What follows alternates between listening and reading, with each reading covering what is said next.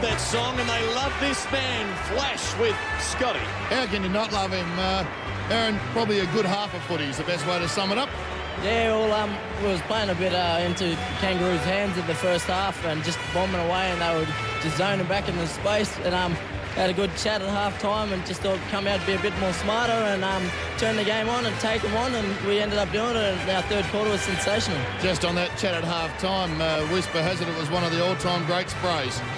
Yeah, it actually was. You got a nearly drowned in there. I should have got the goggles. I was sitting right at the front and just got, got a bit of spit flying here and there at me. So um, no, was good. The boys uh, needed it, I think, because we were just playing ordinary footy first half and. Uh, yeah, done us the world of good. We come out and had a good victory, and um, third of the ladder now, so it's good. Mate, it seemed that uh, during that third quarter, yourself and the skipper, uh, Big David Neitz, just turned it on. It was a great quarter for both of you two. Yeah, I was um, just, uh, I think the back line and the midfield started to work harder and move the ball quicker and it gave us opportunities up forward and we were lucky enough to kick a few goals. Mate, one, one thing we all love seeing, you playing on Daniel Wells, one of your best mates, special.